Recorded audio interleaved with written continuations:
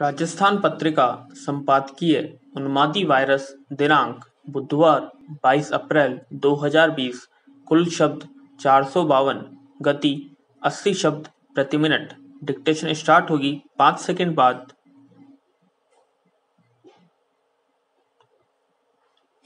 Start Maharashtra में पालघर के गढ़ चिंचिले गाँव में मॉब लिंचिंग की घटना।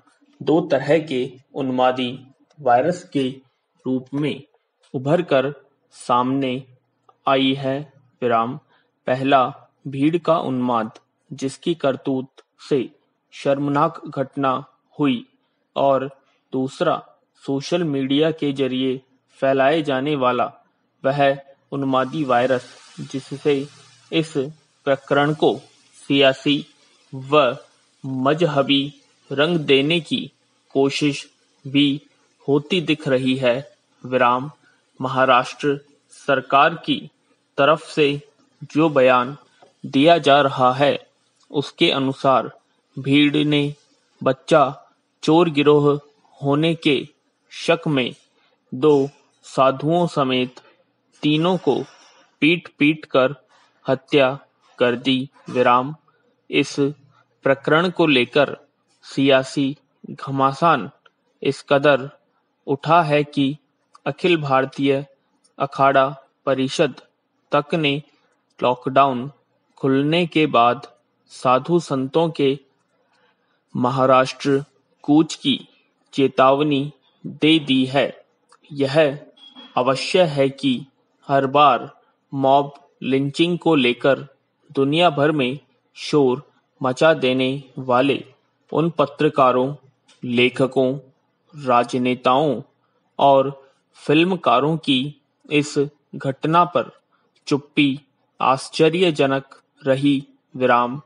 इस तरह की चुप्पी सोशल मीडिया पर छाए उन आरोपों की पुष्टि करती है कि ऐसे बुद्धिजीवियों का स्वयं का नज़रिया पक्षपात पूर्ण रहता है विराम।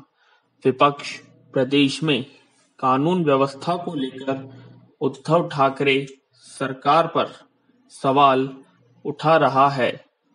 यह बात और है कि महाराष्ट्र सरकार ने इस मामले में 110 लोगों को गिरफ़्तार कर और दो पुलिस कर्मियों को निलंबित करते हुए जाँच का ऐलान कर दिया।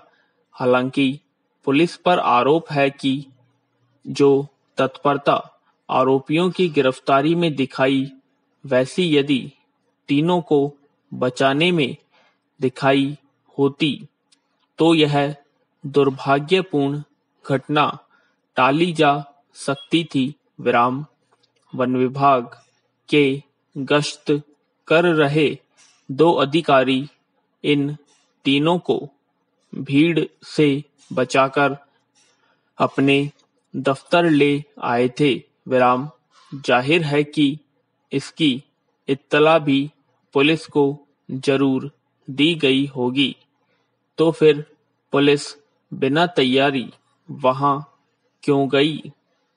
घटना के जो वीडियो भी बता रहे हैं कि किस प्रकार कानून के रखवाले भीड़ के आगे बेबस नज़र आ रहे थे विराम। बच्चा चोर गिरोह से जुड़े होने के शक में मॉब लिंचिंग के मामले पहले भी हुए हैं विराम। इस प्रकरण में भी क्षेत्र के आदिवासी बच्चा चोर गिरोह के सक्रिय होने की अफवाह से डरे हुए थे, लेकिन लॉकडाउन के दौरान इतनी भीड़ का सड़क पर आना भी सवाल खड़े करता है। भीड़ खुद कानून का काम करने लगे। इसे किसी भी सूरत में इजाज़त नहीं होनी चाहिए। विराम। बड़ी चिंता।